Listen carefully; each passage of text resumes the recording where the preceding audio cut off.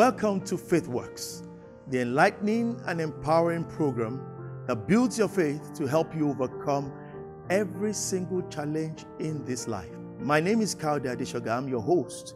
I want you to sit back, listen, and be blessed. God bless you. Um, we've come to the uh, main course now, which is the message of the day. Um, I rarely ever say or do this, but on this course, I'm speaking authoritatively as God's spokesman, as He has given me a word for the church. Um, we're praying that the pandemic will not just subside but go away.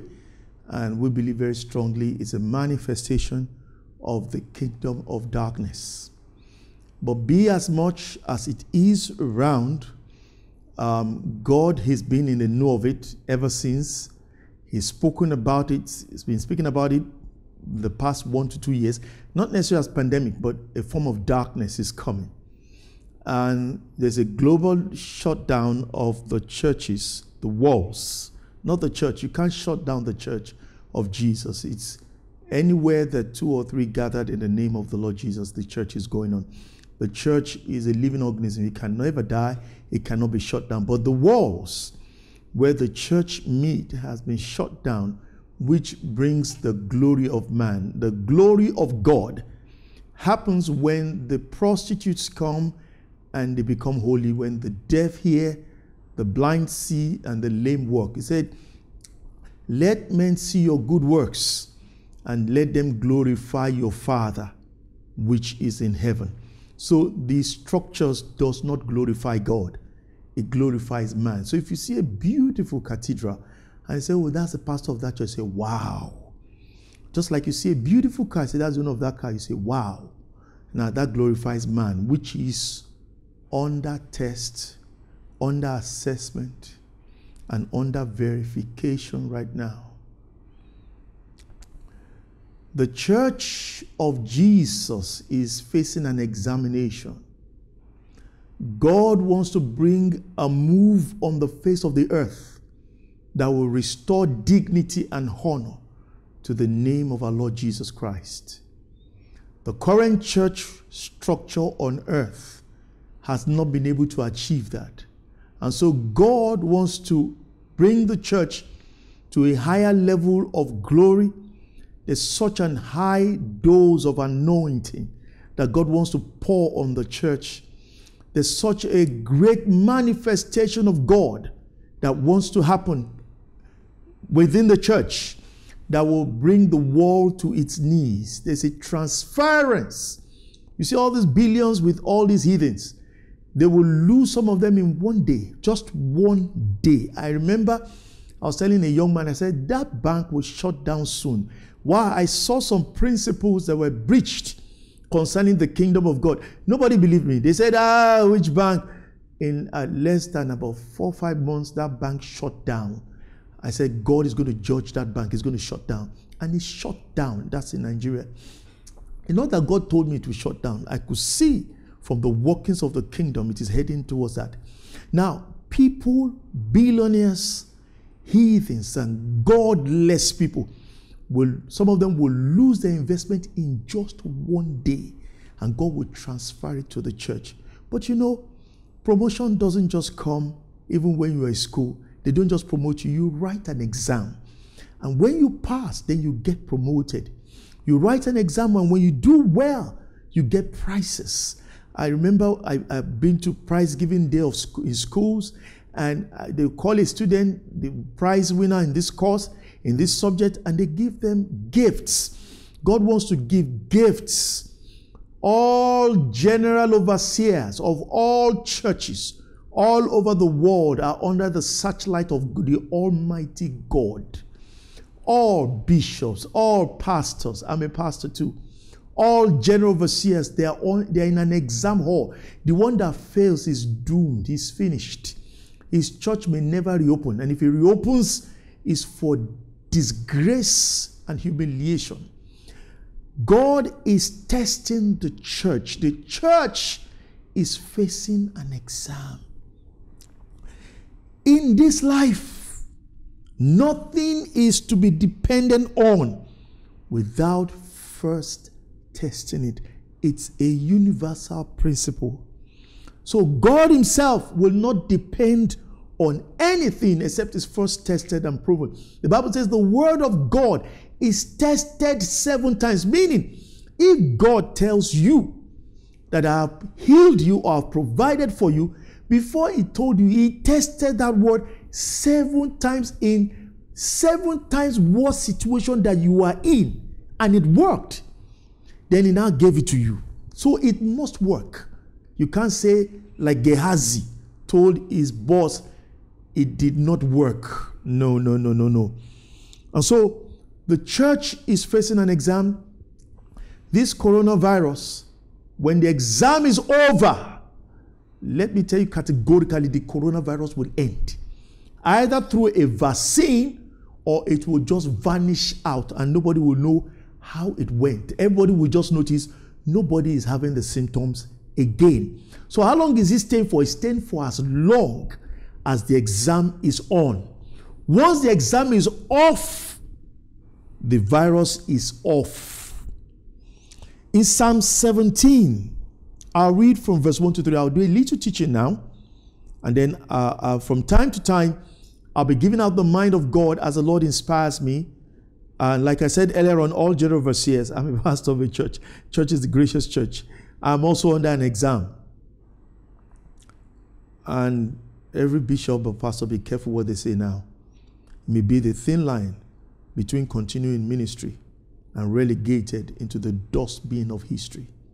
It has nothing, absolutely nothing to do with the size of the church. It has nothing to do with the titles. It has nothing to even do with past glories. God is assessing ministers, members, children, babies. Even someone that just gave his life to Christ last week is in an exam right now. In Psalm 17, I read from verse 1 to 3. Hear the right, O Lord, attend unto my cry. Give ear to my prayer that goeth not out of faint leaves. Let my sentence come forth from, my pre- from thy presence. Let your eyes behold the things that are equal. Verse 3 You have proved, that what proved means tested my heart. You have visited me in the night. You have tried me and you found nothing. God, there's the psalmist says, God has tried me. So God tried the psalmist. People hear of David, oh, David the great king. No, he didn't just become king, he was tested. He was tried. God tried him. When he passed, God promoted him and made him king. It's our time of promotion. It's our time of lifting. It's our time of exaltation. But we are all in an exam right now. Whether you believe it or not, you are in an exam.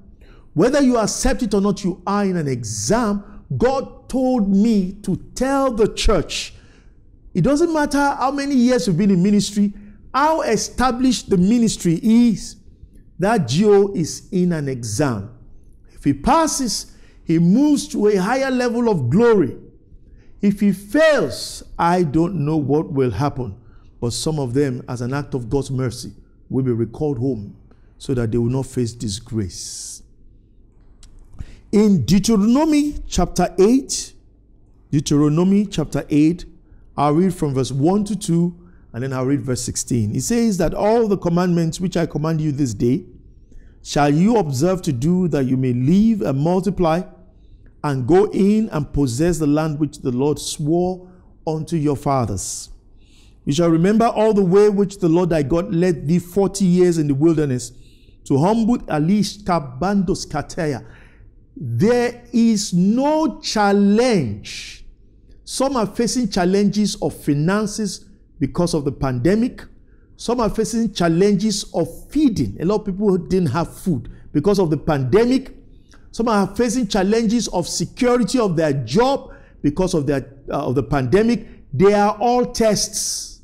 Your response is going to determine whether you move forward or not. Now I continue the Bible reading. He led these 40 years in the wilderness to humble you, to prove you, to know what was in your heart, whether you will keep his commandments or not. Then in verse 16, God fed thee in the wilderness with manna, which your fathers knew not, that he might humble you, that he may test you. So, why did he give them manna? To test them, to know who will enter the promised land or not. So, when God gave them manna, they thought God was just feeding them, not knowing God was testing. Now, most people don't realize God is testing them. They're just seeing that the pandemic is causing no job, no work, no money. Some are facing health issues. Everybody is being tested, especially in the area of the challenges they are facing. Amen. Now, um, I'll read a few more scriptures just to prove that God tests is in the scripture. Because someone may say, oh, where is it in the Bible that God tests? We looked at Psalm 17, 1 to 3, Deuteronomy chapter 8. Now we're looking at Judges chapter 3. And I'll read from verse 1. I'll read from verse 1 to 4. Now, these are the nations which the Lord left to prove Israel by them, even as many of Israel as had not known all the wars of Canaan, only that the generations of the children of Israel might know to teach them war, at the least such as before knew nothing thereof, namely five laws of the Philistines, of the Canaanites, Sidonians, Hivites, dwelled in Mount Lebanon, from Mount Baal Hermon unto the entering of the Hamath. Now, these are enemies of Israel, and they hate Israel, and they are killing the Israelites. And God said He left them in verse 4 to test Israel. So the pandemic is to test the church. Let me make it clear the pandemic cannot destroy the church. The pandemic is not meant to destroy the church. The pandemic is bringing circumstances to test the church. I'm telling you why the pandemic came. And I'm assuring you, when the test is over, the pandemic will vanish. So they're to prove Israel to know whether they will hearken unto the commandments of the Lord, which he commanded their fathers by the hand of Moses. So when those nations come and they, are, they conquer Israel, now look at this, this is a test. They subject them, now they ask them to serve their gods. And God said, I allow them to conquer you to see whether you will serve their gods or you will serve me. Do you desire to live and operate God's way of doing things? Do you desire to understand how faith works? Fundamentals of Faith is a book written by Kayode Adeshoga. It teaches in simple terms how to operate the God kind of faith that helps you overcome all hurdles of life. Fundamentals of Faith is available for purchase at Trem Bookshop Obanikoro, Lagos and Bible Wonderland Stadium, Surulere, Lagos. Get a copy today. And we can go also and look in Exodus 61 to 4, but for time, I'll leave that. In First Thessalonians, that's in the New Testament, First Thessalonians, I'll read chapter 5, verse 21. Here God says, Prove, test all things, and hold on to what is successful. Not successful in what we believe is successful, but successful in the fact that it has been tested and it has passed. You know, many times we look at success in the light of men. I remember in the ministry of Jesus, at one time his congregation was 5,000 men beside women and children. It wasn't Corona that caused his own. God shut down his miracle ministry. God, the Almighty, shut down the miracle ministry. Every minister of God, it's a face. I, God instructed me one time to shut down the church, thriving church. I had to shut it down. And for about a year, I was alone reading and studying and learning the ways of God. So this is not strange. It's not, it's not, it's nothing strange. Those who have walked with God at one time or the other have experienced a part of their ministry shut down. He shuts it down. It's part of the procedure on the way to Zion. Any minister, at one time or the other, his ministry is not shut down, will never get to Zion. And they shut down the miracle ministry of Jesus. It was so bad. People came to me and said, Ah, ah, Rabbi, show us another miracle. It's taking so long.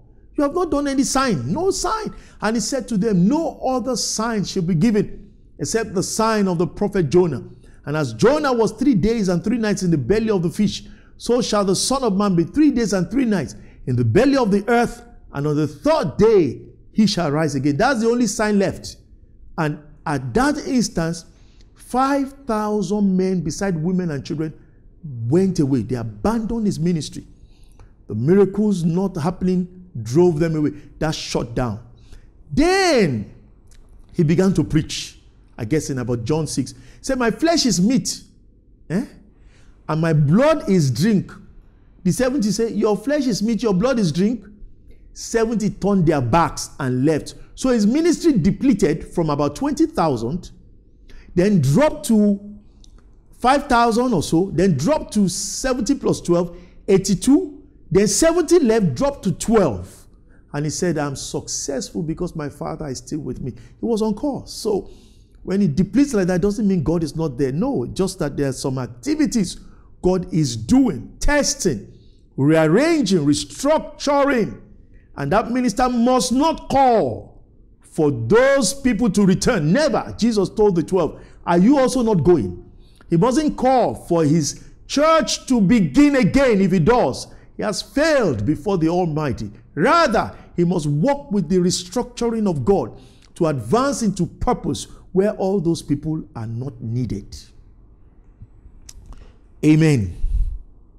So in 1 Thessalonians 5:21, he says, test all things. In Zechariah 13:9, the same thing. So in school, we undergo tests to qualify us for promotion and so it is also in the spiritual.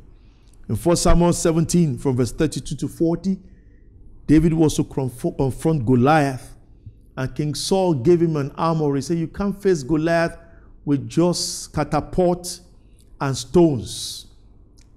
There are Goliaths in the world that we must crush. Terrorists. The church must not be at the mercy of terrorists. Never, never at this new glory, it will not happen. Never, never. They are Goliaths, and we're not going to use swords and armory like King Saul and like the world is used to defeat. We're going to use stones, things you will never imagine. For David, it was just mere stone, and he brought a whole Goliath and a whole nation of the Philistines down. But you know, he didn't just use stones, they were what he had tested and proven. So in 1 Samuel 17, King Saul told him, he said, David, you want to face Goliath? Use my sword, it's special. They use special weapon, uh, special metal. David said, You don't need metal. No metal can bring down this gun. You know, in the book of Daniel, Daniel had a dream. He saw a great statue. And that statue, the head of it was gold. The breast was silver. The waist was brass. The thigh, the legs were iron, was mighty. And then he saw a hand cut out a stone from a rock, and that stone smashed that statue and broke it to pieces. That statue is the kingdom of this world. Let me tell you what the kingdom of this world is it's coronavirus. The kingdom of this world is the military of mighty nations the kingdom of this world, biological, chemical weapons. The kingdom of this world, I don't want to mention companies, some of those multinationals that their profit alone can eat up almost the, the entire resources of Africa. And he said, A stone cut without hands. How can a stone be cut without hands? That means what would destroy the kingdom of this world, terrorism, and all this extremism, is not what people are thinking. God will have to give it to a church, not a church that is in a state of fear and in a state of reproach, a state that does not know his right from his left, which is what we currently have. It has to be the promoted church that will pass the exam. God will give some stones, say, go and kill the Goliath in your nation. God will give some a, uh, sorry stones with um, catapult. Go and kill the Goliath. Some will give sto- some a, a stone cut without hands. Go and smash the statue in your nation that is terrorizing and harassing you. And God is raising generals, sons, and mighty men in his kingdom. I'm not saying people that have large church. No, men that control heaven, the resources of heaven. They have the mandate of heaven at their shoulders. The kingdom, the government of heaven is on their shoulders. Their word is law. It does not fall to the ground. When they speak, heaven backs it. Whether God supports what they say or not, it will never fall to the ground. The Bible says the word of Samuel, it, it has nothing to do whether it's right or not. Any word Samuel uttered in the Bible, it never fell to the ground. Never. God made sure there were angels assigned to him to execute everything that proceeded out of his mouth. We have come to that time again. Amen. Also, Gideon in Judges 7, God said, It's time to liberate your nation. It's time for the nations and the church to be liberated from the grip of those who are harassing us. It's not going to continue. I guarantee you. It will, a major, oh my goodness, a major move of God is coming that will end the, end the hold of the heathen and the harassment over the church, not only in Nigeria, but all over the world. The church is going to work. Their feet will sound like thunder when they move in the spirit. It will sound like thunder. Heathens will collapse before them. The power of God, people, the dead will be raised. I'm not talking of somebody that just died one hour. People who have died, who have been buried for 21 days, some 40 days, their bodies will be exhumed back out and will be raised back to life. Those who have been beheaded will mold with mud another head and command life to return, and they will return back. Then Jesus will come.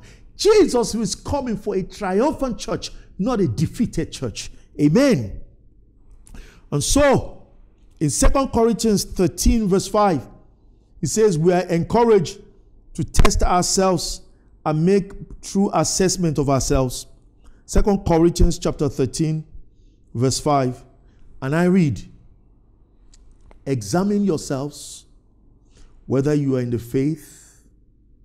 Test yourselves and know if you are in the faith or you have turned to a reprobate.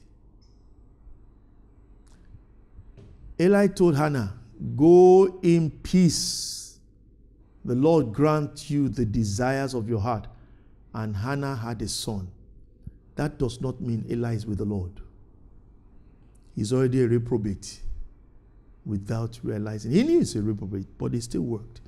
So all the great men of God still doing all sorts and doing miracles. That doesn't mean they've tested and they're in order. They could be reprobates. And they are telling people to go in peace. And the people believe. And God honors their faith and they get the miracle. But we should examine ourselves and be honest with ourselves. We can deceive people, but you cannot deceive yourself. So God says, while the test is coming, quickly test yourself. Make a true and a honest assessment of yourself. That will help you when the exam comes. That's why they say there's something they call mock exam. Mock exam is to help you make a true assessment of yourself before the true exam comes so that you can know that you are well prepared or you are not prepared. And if you know you are not prepared, then you quickly go and prepare. So God is asking the church, while your exam, your own exam is yet to come, quickly go and do a mock exam so that you can make a true assessment. Praise the Lord. So, a test is a procedure intended to establish quality, performance, reliability of a thing before it is taken into use. It's an evaluation and observation of the genuineness of anything that is determined. I want to give you insights of what God may test you with since we're in an exam. So, if your child is preparing for an exam in school and you have what we call a lesson teacher in the house. The lesson teacher takes your child through subjects that they think might come out in your exam and says, if they ask you, most likely this is so so and so, this biology, the most likely is rare for them to do biology exam and not at this area. So if they ask you this, what they're just trying to find out is this, this, this. So most likely, the first thing you must do is this. Amen. Excuse me. So, what I want to do now, amen. So, what I want to do right now is give you hints from the scriptures of different people that were tested in different ways and tell you, peradventure, this is what the pandemic has created a scenario for you like this. During the pandemic, many people didn't have food and they were stranded, and people were sending messages for people to help them to assist. And I believe by the Spirit of God, as a Christian, you should assist people, especially if you have. He says to Abraham, I've made you, I've blessed you, and I've made you a blessing. So we're blessed to be a blessing. But I know one area everybody will be tested is in food and drink. That food and drink means basic needs. And like the earlier um, minister said, as regards in 1 Samuel 17, the widow of Zarephath, she only had a handful left to eat for her and her son and die. She didn't go to beg from anybody. She was willing. I believe you've been blessed by that message. And I know your faith has been built up. And I know all those challenges in life are all going to fall before you in the mighty name of Jesus. I want you to know Hebrews 12 says Jesus is the author and the finisher of our faith. You need him in this walk. And so if you're out there and you don't have Jesus in your life, I want you to say after me, say, Dear Lord Jesus, I believe you're the only begotten Son of God. Come into my life, be my Lord and my Savior. It's as simple as that. Displayed on the screen is diverse information on how you can interact and reach out to us. Take advantage of it, and I'll be expecting to hear from you. Till I come your way again, same time next week, I want to tell you don't give up. Faith works. It's working and it will work in your life. God bless you.